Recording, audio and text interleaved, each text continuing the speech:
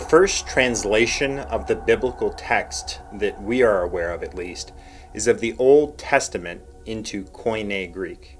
If you remember from a previous video, Koine Greek was the common form of Greek that was spoken in the marketplaces around the post Alexander the Great Greek and Roman empires.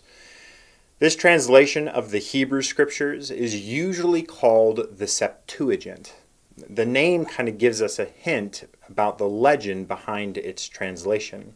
In a letter from Aristeas, written about the translation, he asserts that the translation was created in the 3rd century BC at the request of the director of the library in Alexandria, Egypt.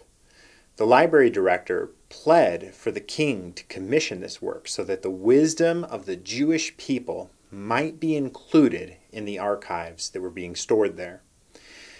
The king agreed, and he commissioned six scholars from each of the tribes of Israel to complete the task. So, 72 Jewish scholars convened in Alexandria, and after a round of philosophical debate with the king, kind of to prove their wisdom, they set about the translation.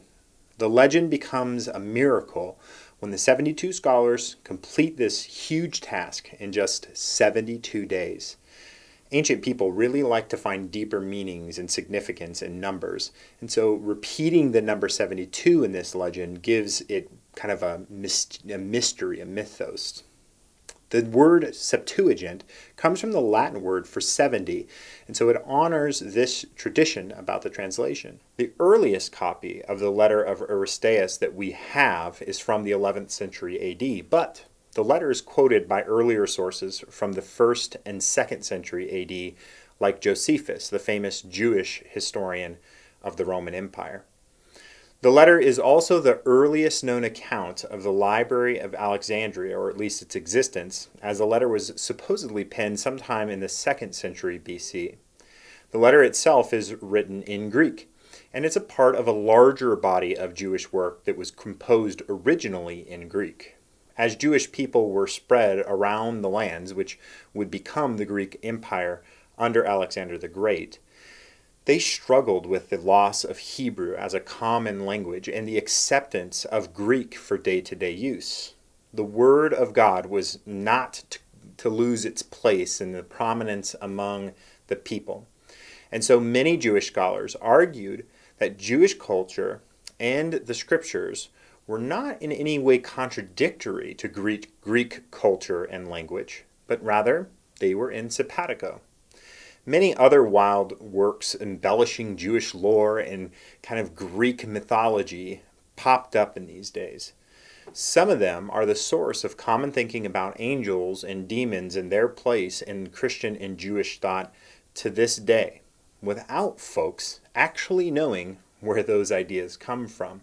The reality of the creation of the Septuagint is probably a bit different from this tradition. The Septuagint definitely existed in ancient times in the form that we know it in today, and some of it existed by the time of Jesus. The best scholarship around its formation asserts that the earliest translation of this collection of texts likely took place in the 3rd century BC, but that it might not have been fully completed until the 2nd or maybe even the 3rd century AD. Some scholars think that the original version of the Septuagint that the legend recounts only includes the first five books of the Hebrew Scriptures, the Pentateuch, and that the other texts came in later as additions to this original work. Many of the New Testament quotations of the Old Testament are directly from the Septuagint. This lets us know that these texts, at least, were already in existence by the first and early second century AD, and that early Christians were aware of them enough to quote from them rather than to create new translations from the Hebrew texts. Remember that the New Testament books were all written originally in the same form of Greek as the Septuagint, so it made it a natural fit. The earliest copy of the full Septuagint is from the 4th century AD. It includes many texts not included in the Palestinian Jewish version of the Hebrew canon.